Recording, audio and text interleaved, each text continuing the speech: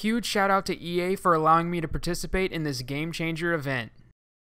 What's up everyone, welcome to a new video. This one is going to show you guys how to never fumble the football in Madden 19. You see it all the time where guys just don't practice the fundamentals and end up fumbling the football by being greedy. You guys might think that these are the basics, but trust me, a lot of people forget about it, they get greedy, and they end up trying to get that extra one or two yards and they fumble the football. So the first thing you can do, obviously, is to slide with your quarterback anytime you're scrambling. It doesn't matter if you're using one of the athletic guys like Lamar Jackson or Cam Newton, a lot of times, unless it's a third down or fourth down situation, you're going to want to get down and avoid taking that big hit at the sacrifice for maybe one or two additional yards. You know, a fumble is so huge in the swing of things in Madden. You get so few possessions. Each possession is so precious. You really have to take care of the football. Not only can you slide on passing plays, but also on running plays anytime you have your quarterback running the football. So don't forget to slide. Now, the next thing you can do is give yourself up as a position player. A lot of guys don't know this,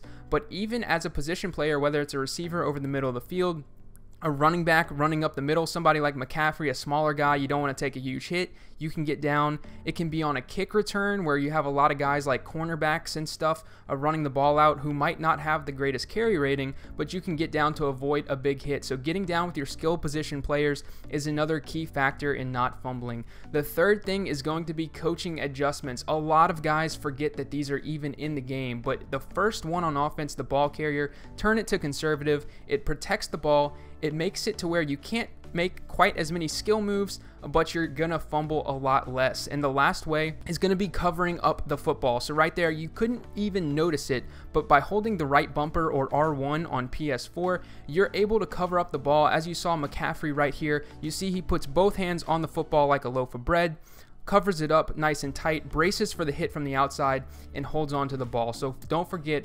SFAC slide, fall, adjust, and cover. But that's going to do it for this video, guys. As always, thank you so much for watching, and until next time, take it easy.